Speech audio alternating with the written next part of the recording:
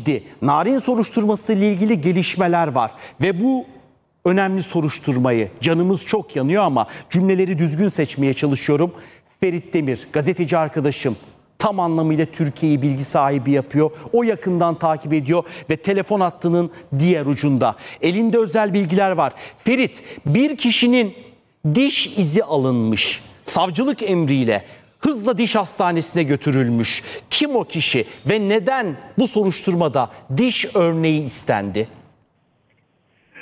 Ekrem Atikel e, biliyorsunuz e, Nari'nin ağabeyi Enes e, 26 Ağustos tarihinde kolundaki diş e, izleri nedeniyle İstanbul Adli Tıp Kurumu'na götürülerek e, kolunda inceleme, araştırma ve ölçümler yapılmıştı ancak kol e, diş izlerinin e, kendisine mi ait başkasına mı ait tespit yapılmamıştı. Ancak Narin'e ait herhangi bir DNA izine de rastlanmamıştı. Bu durumda diş izlerinin başka birine, üçüncü kişilere ait olabileceği kuşkusu yaratmıştı. İşte tam bu sırada da anne e, şüpheli olarak gözaltına alınıp tutuklanmıştı iki gün önce. O anne yani Yüksel Güran bugün e, öğlen saatlerinde Diyarbakır Ağız ve Diş Hastanesi'ne götürülerek diş ve çene ölçümleri alındı ve o ölçümler İstanbul Adli Tıp Kurumu'na götürülecek. Acaba o izler anne Yüksel e, ait onların ölçümü yapılacak. E, bu e, sonuç çıktığı zaman eğer anneye ait çıkarsa soruşturmanın seyri yine değişmiş olacak. Yani e, önemli bir gelişme. E, Evet. Bunun götürülmesi niçin götürüldü? Acaba içeride bir itiraf mı oldu? Bu soru işaretleri akla geliyor.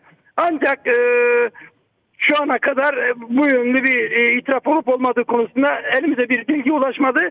Bir e, küçük gelişme daha var onu da aktarmak Lütfen. istiyorum.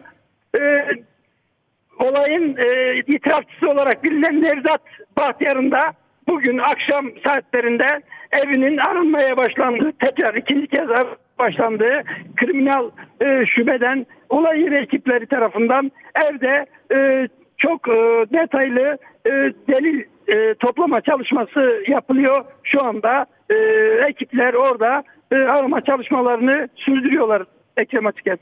Ferit Demir çok teşekkür ederim. Müthiş bir mesai harcadın, harcamaya devam ediyorsun. Ekran senindir. Soruşturma dosyasından her yeni gelişme için bizi uyar.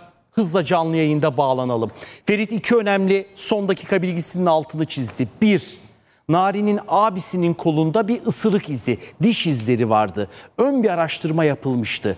Son araştırma, son dakika. Anne cezaevinden diş hastanesine götürüldü. Diş örnekleri alındı. İstanbul'da adli tıpta koldaki izle ilgili olarak bir karşılaştırma değerlendirme yapılacak.